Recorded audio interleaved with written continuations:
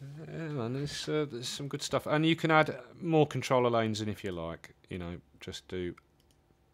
Oops, add controller lane. Click that button, and you've got another controller lane, and uh, that can be for your velocity, so you can see the velocity of the note. I could make the note louder by just getting a pencil and just drawing it louder, and I've got this. So think about it by using a combination of the quantize and uh, when you're drawing in controllers, like I say, I tend to leave this on 128s because then I get these fine little steps. Yeah. Otherwise, if this is set to something like 16th, I'll get stupid 16th steps which which just don't have enough smooth resolution. Look, it's more steppy. Yeah. And if I was to choose eighths, I mean, you know, watch. Hang on. Yeah. So it's. Uh, cool stuffer. I mean, that is just uh, that's, that's that's really good stuff. Let me put in that. I love that gating thing, so I'm going to put that back in. Where are we? Square. I'll just show the parabola after this, and then we'll end. Here we go. That's what you've got. If I show the VST instrument, here's the master volume pulsing up and down, and there's the filter sweeping up with each cycle.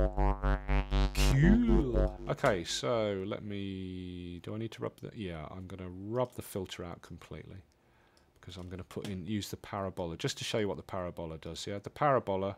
I'm going to close this bottom controller lane by hitting this negative symbol here. That's removed it. I'm going to drag this up so I've got more space in the bottom. So this is gating the volume on and off this controller lane, which is set to main volume, yeah? And with the parabola tool, I can draw a curve, and it, it snaps to the quantize, which is eighths at the moment, like that. So I can draw a curve going up like that. If I want the curve to be the opposite direction, hold down Control and click it again, and just sort of drag it like that, and it'll snap the other way. Hit Control again, and it'll do the other direction. It's a bit sticky and fiddly that, but I could do a curve either curving all the way up across the whole bar or just to halfway in the bar like that and then if I put the parabola here again and I can draw a curve down but it's a convexed curve. If I want it to be concave just hold down control and just give it a little drag like that and it'll become concaved and now I've got a filter sweep going up and down like that as well as the pulsing volume and it sounds like this.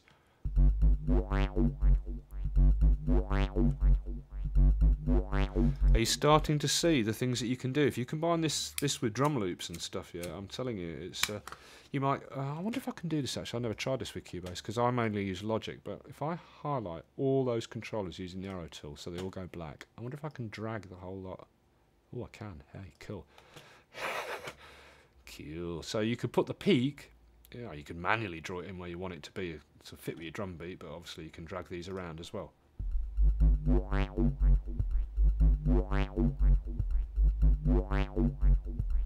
Now imagine that with a, you know, jung jungly drum.